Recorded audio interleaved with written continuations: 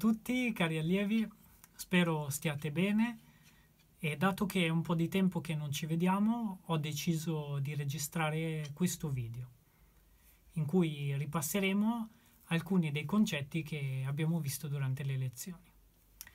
Quindi partendo proprio dalle basi abbiamo l'impugnatura, la prima cosa, come teniamo in mano la bacchetta. Se vi ricordate la bacchetta ha due estremità, ha una punta e ha una parte posteriore, un retro. Ok, noi di solito colpiamo con la punta.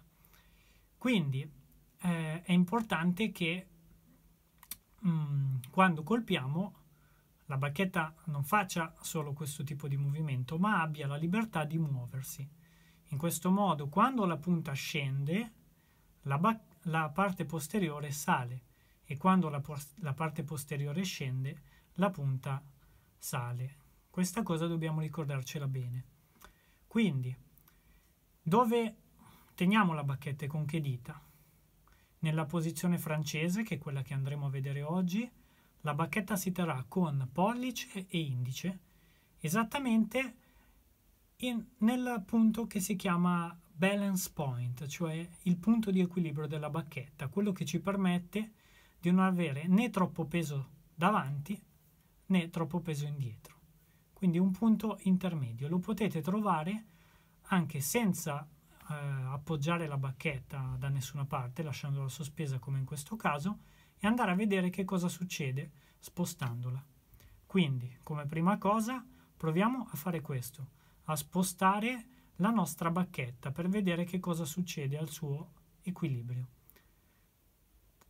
Se io la sposto troppo avanti o troppo indietro rispetto a questo punto, succede che o la punta mi cade perché c'è troppo peso da questa parte, oppure la punta mi, mi sale su e quindi cade il retro eh, perché c'è troppo peso indietro. Quindi questo punto è molto importante da riconoscere perché quando andremo fra un attimo a eh, effettuare dei colpi, de, delle note sul, sulla batteria, dobbiamo tenere ben presente eh, che eh, il ritorno della bacchetta con il rimbalzo sia equilibrato, cioè non ci faccia fare né troppa fatica in un senso, quindi con troppo peso, né nell'altro, quindi senza abbastanza peso. Ora che siamo sul tamburo, possiamo iniziare a fare il primo esercizio, il primo gioco anche, che è quello dei rimbalzi. Se vi ricordate, vi ho sempre fatto giocare con la pallina, sia ai ragazzi più grandi sia a quelli più piccini.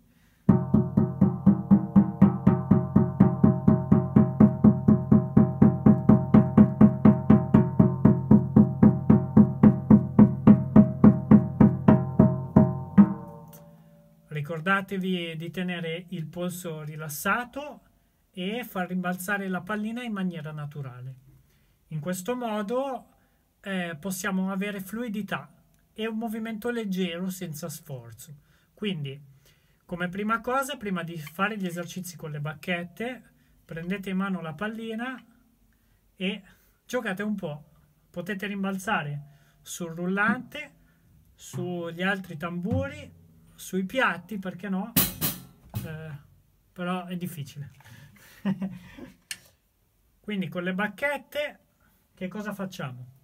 Nella posizione francese, che è quella con eh, mm, il pollice rivolto verso l'alto, in cui la bacchetta appoggia sostanzialmente sull'indice e il pollice la governa, permettendo di muoversi su e giù. Che cosa notate? Che il retro della bacchetta può scendere e la punta salire e viceversa che se il retro sale la punta scende. Quindi il primo esercizio dei rimbalzi lo faremo proprio in questo modo.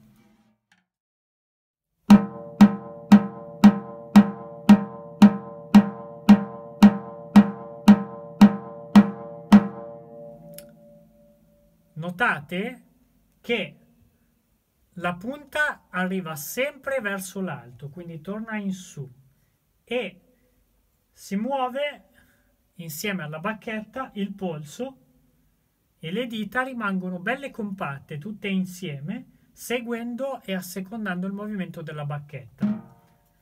Questo è importante perché così facendo possiamo accettare il rimbalzo, altrimenti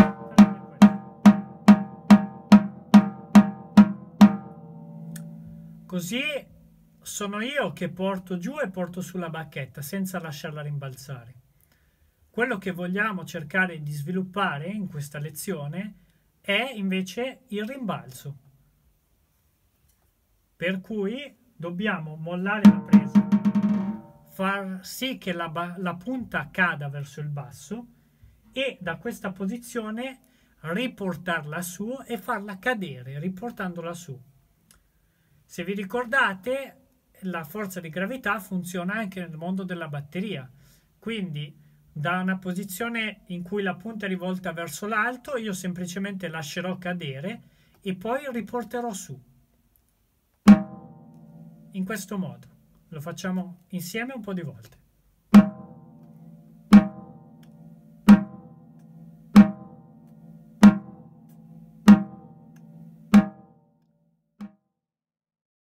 Questo esercizio va fatto in eh, quattro modi diversi, ok?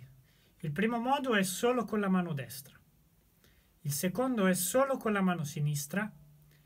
Il terzo è con entrambe le mani insieme. Il quarto è prima una mano e poi l'altra, quindi prima la destra e poi la sinistra. E il quinto è prima la sinistra e poi la destra.